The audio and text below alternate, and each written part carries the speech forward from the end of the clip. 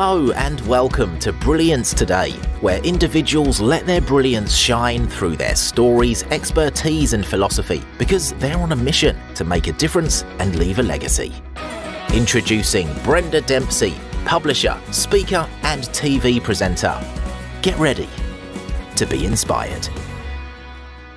Hello and welcome to Brilliance Today.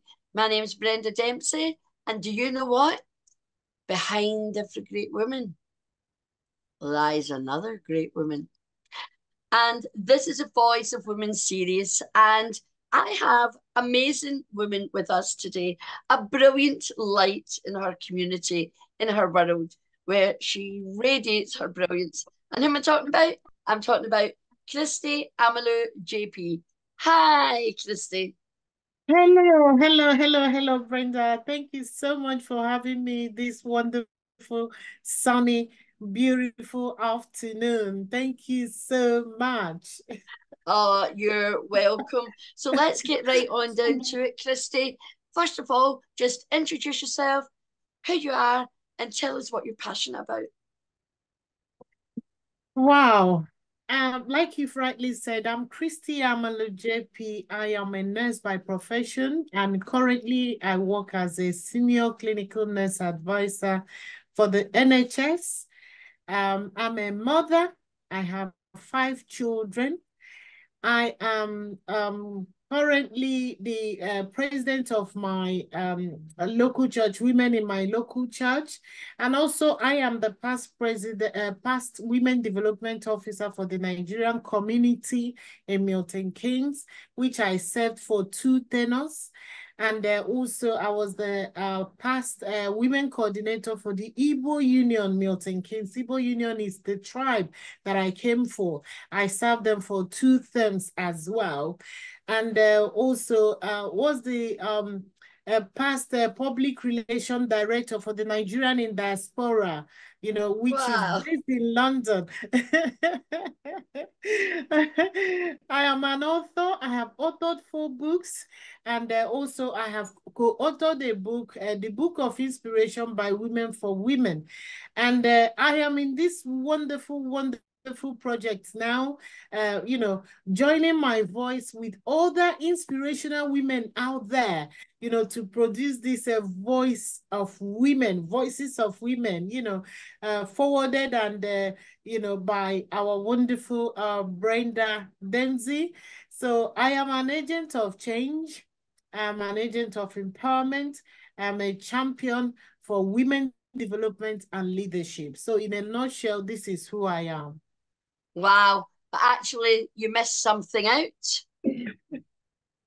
now, you're, you, I mean, there's so much to you, isn't there? You're just phen phenomenal. You're a powerhouse. But you forgot about your well woman. I'm telling you, that's honestly, that's one thing I forgot. But please let me just go there. I am the CEO and founder of a Well Woman Network UK, which is an organization that we started in 2013. Uh, next month will be 11 years. You know, we've been uh, uh, doing a Well Woman. So, a Well Woman is an organization which empowers women to enhance their health, overcome hardship, hunger, and vulnerabilities. And we wow. envision a world where the most vulnerable person will have the power to pick themselves out of poverty and live a healthier, vital life for themselves, their family, their community, uh, in fact, the nation now and for the future. So, um, and also in a Well Woman, you know, a lot of things are, are encapsulated. We have more than 100 volunteers and uh, also uh, have women both locally in Milton Keynes, nationally in the UK, and internationally. So um, we have, um, you know, done a lot of charitable uh, work um, abroad, like in Kenya, in Nigeria, in um, Ghana, you know, we have done feed the hungry in the streets because we believe, you know, when people are hungry, you know, they tend to be imbalanced, they tend to be, you know, their health is depleted and all that. And also we have done our Stepping Out in Style project, which is a project that is meant to deliver you know, use school shoes and bags to children in rural communities who go to school on bare feet. And you wow. all know, and you all know what happens when a child is walking on a, a bare feet. Uh, some the things can, you know, uh, puncture their feet. From there, they can get infected they can get tetanus, you know, their lives can be cut short. And these children are our future leaders, you know. So we kind of like recycle these uh, shoes and bags, telling mothers of uh, school age uh, that have children of school age that all those shoes that they want to throw into the bin, all those school uniforms, the bin will not thank them, but they can give them to us we package them and send them to children in rural Africa and um, wow. you know bring wow. smiles to their faces you know so, amazing oh yeah. my goodness everybody you can tell this is a woman who's passionate this is a woman on a mission fact i think she's on about 100 missions um amazing i don't know how she does everything that she does i've seen her in action and the thing is she's got such gentle high vibrational energy She's quite the opposite of me. I'm all like woo, wound up, but um, Christy's beautiful, graceful, elegant, and um, she does a power work for Thank her you. community. So thanks Thank very you. much. So this book's all about leadership, and I think you know it's safe to say we can call you a leader. So tell me what you believe leadership to is. Uh, actually, um, leadership is influence just like um, uh, John Maxwell said it. He said, if you are leading people and nobody is following, you're just taking a walk. So it's all about influence. It's all about, you know, using what we have, our passion, you know, to empower our generation, to give them the best so as, you know, they can be empowered as well to empower other people.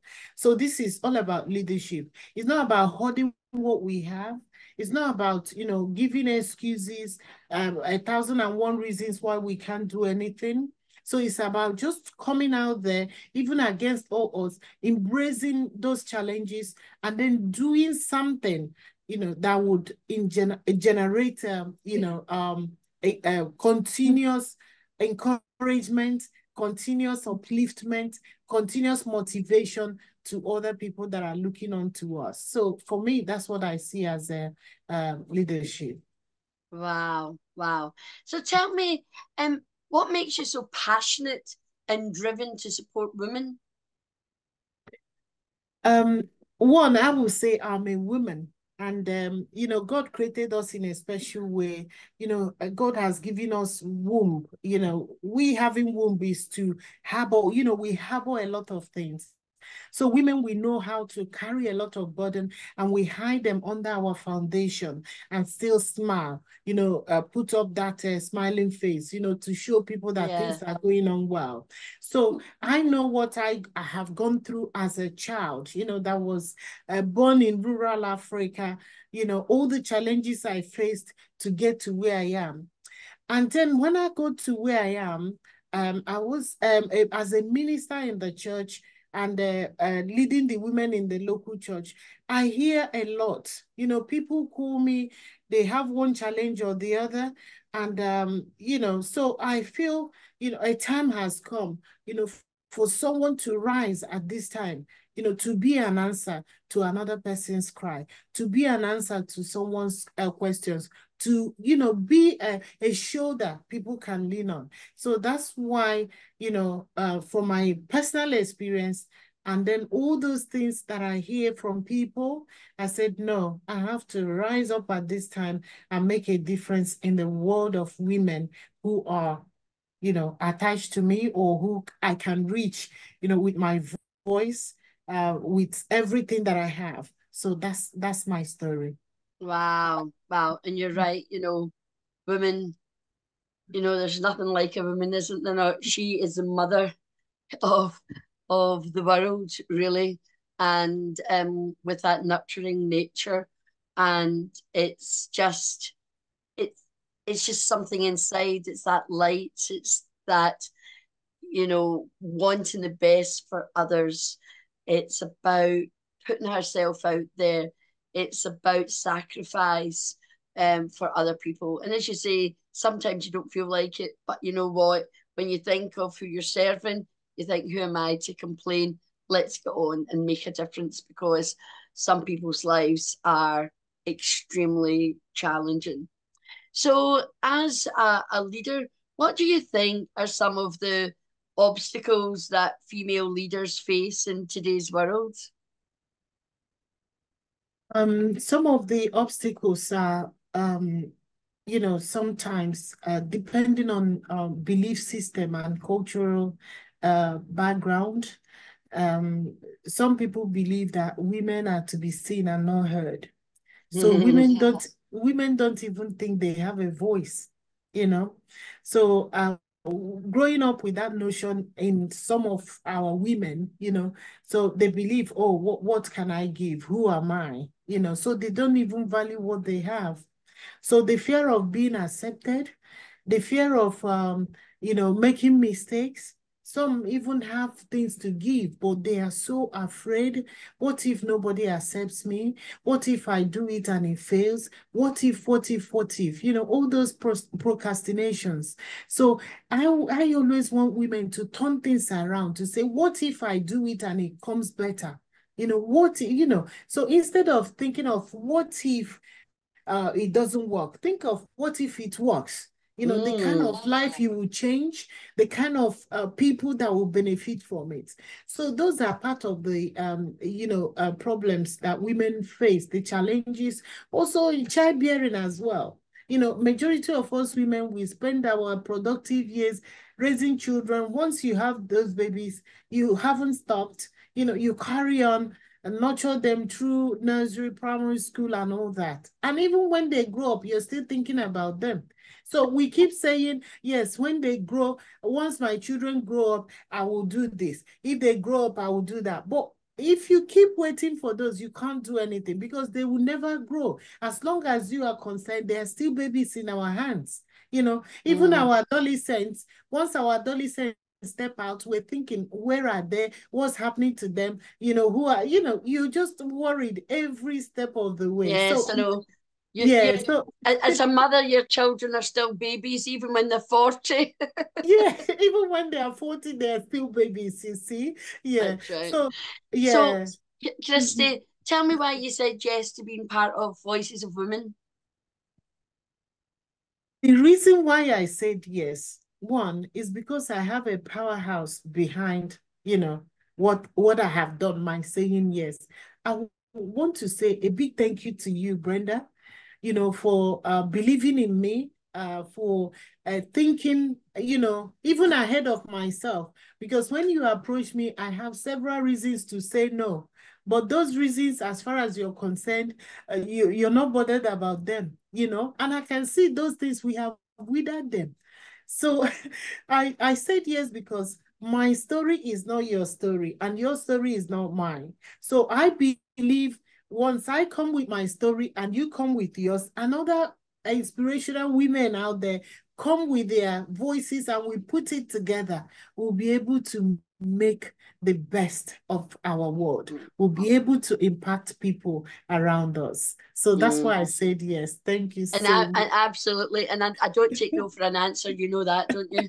yeah, yeah, yeah. I'm a dog with yeah. a bone. If I think yeah. there's a voice that needs to be heard, you're you're you're doing it. You know, we'll find a way. Um, it's not coercive, by the way, folks. There's no coercion. Um, there's just love and encouragement.